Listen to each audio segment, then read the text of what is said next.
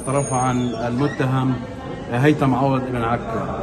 المتهم حسب لائحة الاتهام باللينش في عكا من تاريخ 12 5 2021 قبل أكثر من سنة ونصف. تم اعتقاله في شهر 8 مش مع ال- الاعتقالات الأولى.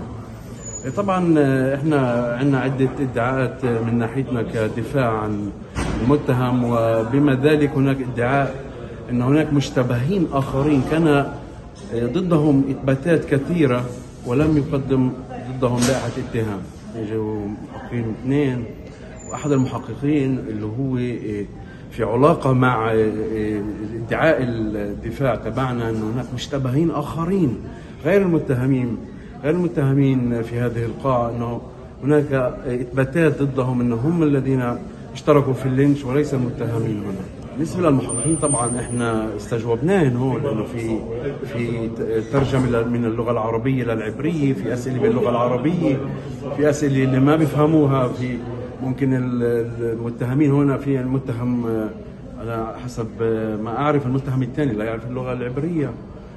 فسألناهم طبعا استجوب استجوبناهم عن اللغة العربية، الأسئلة باللغة العربية كيف ترجموا للغة العبرية. كان هناك أيضا خربشات في الاستجواب المحقق. المحقق نفسه كان يكتب في اللغة العربية ويشحبر باللغة العامية. هناك اعتقال آخر غير المتهمين هنا والمتهمين الذين حوكموا أو محاكمتهم ما زالت. هناك متهم آخر حسب ما سمعنا اليوم إنه سوف تقدم لائحه اتهام بعد يومين ضد متهم آخر.